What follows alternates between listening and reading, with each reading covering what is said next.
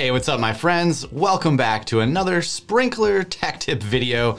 I'm sprinkler nerd Andy, and today we're gonna take a look at the Hunter Wireless Rain-Clik rain sensor. This is a uh, super easy to install, very reliable and very effective uh, rain sensor. And um, I should mention that the Hunter, this Hunter wireless Rain-Clik can be installed on any uh, irrigation control box that has a sensor input. So let's flip the camera over and take a look at the Rain-Clik. This is what it comes in. Very simple box from Hunter. And I've already opened it uh, before setting this up, so it is a little disorganized here, but let's take out the two pieces.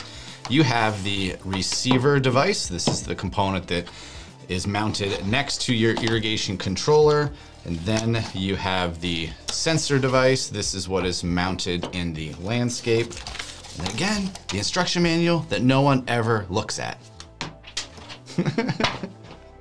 okay, so you got your two devices, and uh, what you'll see is the receiver has this uh, ruggedized rubber cover that you can um, pull off. Again, this is really so that if this is mounted outside, this gives it some protection.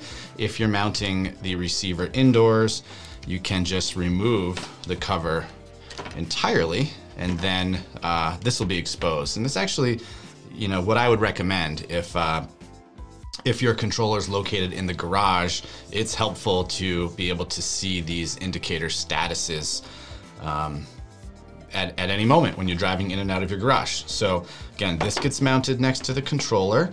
And then this is the rain sensor that can be mounted, you know, on a uh, fence post. It can be mounted on the eave. There's an additional gutter mount that will allow you to clip this on to the gutter. And I do want to flip this back around so that you can get an even closer look at the device.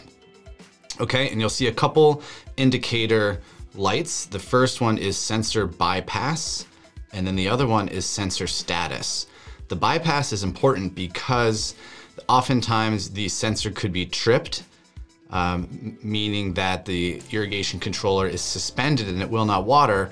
However, you may want to turn your sprinklers on. So if that's the case, you simply press the rain bypass button and that will allow you to bypass the sensor and continue watering. And then this the light below it, which is the sensor status, you can see it is either green or red. Pretty straightforward. Green means the sensor is dry and your sprinkler system is allowed to water. If it's red, it means the sensor is wet and it is currently being suspended. So that's it. Your system is allowed to water, or if it's wet, it's not allowed to water. Um, you know, you probably saw there's just two mounting holes here. You can mount it to the drywall um, next to the controller. The cord is pretty long, so there's enough for you to, uh, you know, sort of feed the wire down up through the bottom of the controller. And then I do want to talk about these, uh, these wires here. Let me flip this back around because this is a common mistake.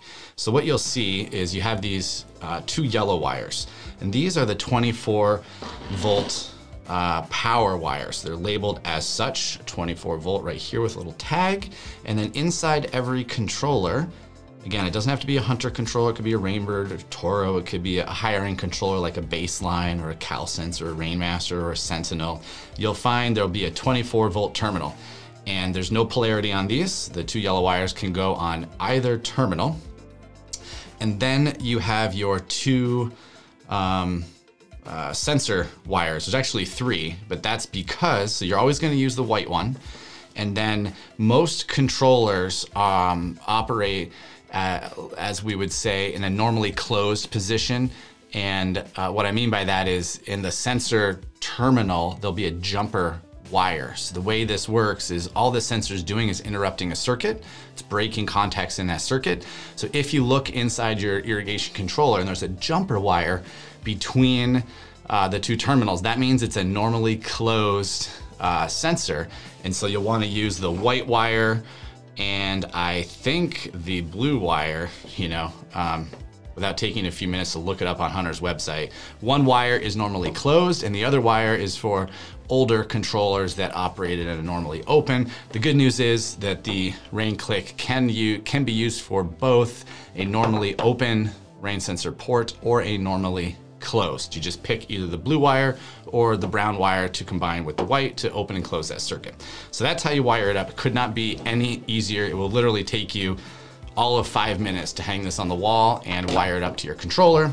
It may take you a little bit longer depending on where you want to mount the uh, receiver. If you want to put it up on a gutter, uh, you may have to get a, a, larger ladder out. The critical or the most important part to mounting this, we see it all the time. Gosh, whenever I'm traveling, I always see rain sensors. It's just what it's just what the sprinkler nerd does, right? Looks for sprinkler parts. I can't tell you how many times I see these like under the bush or you know, mounted in a place where rain is coming off the roof, literally falling onto the sensor. So it's important to mount this device where it's out and open to the sky so that if it is raining, this device is going to uh, sense the rain. You know, don't put it behind a building, behind a bush, even if it's not being covered it could be just being blocked by something. So get this out into the open sky. That's why it's wireless. You can find a, an awesome place to hang it. Uh, the range is actually really good. I can't tell you specifically, but I think you can get 100 to 200 feet uh, wireless distance with this, just, you know, um, uh, without any obstructions. So one of the key benefits to this, to Hunter's sensor versus some of the others, is it has uh, what's called a like quick response, I think is what Hunter calls it. So even if it is, uh, it just starts raining, this can shut off immediately. Um, a lot of sensors have indicators like eighth of an inch, quarter of an inch, half an inch, etc., where it may take up to you know that set point of rain, eighth of an inch, let's say, or quarter of an inch, before it takes any effect at all. So this quick response system will allow it to shut down really quickly. And then what you can do by turning this top piece, let's see if you can see that, boom, boom, boom. This is the, the dry out. So you can see um, just by turning the top, you're opening and closing this little window. You see that? And inside there, are cork discs. So it's kind of interesting. The wireless portion of the sensor might be new technology, but the way these sensors work is uh, really old technology. There are synthetic, I think now, but maybe originally cork discs in here. And when you look in this window, um, yeah, you may not be able to see, but they're just little cork discs and they're all stacked up on top of each other. And when they get wet, what does cork do or synthetic material?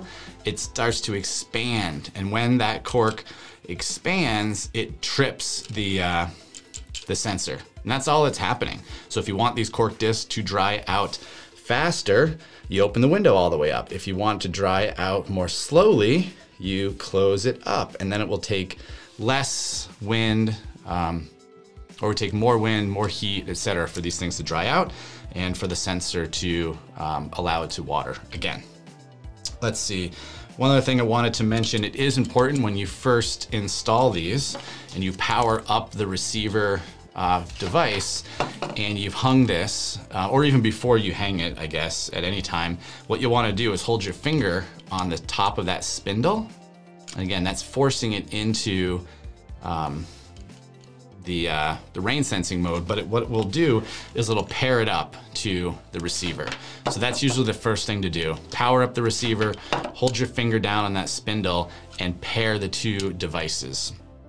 I will also mention that if for some reason this fails, you know, a bear climbs up on your house and just tears it down, you can buy a replacement transmitter and you can pair it with a new or your existing receiver and vice versa. If your irrigation controller takes a surge and this fails for some reason, you can buy a new receiver and pair it to the transmitter uh, those are both sold individually and separately.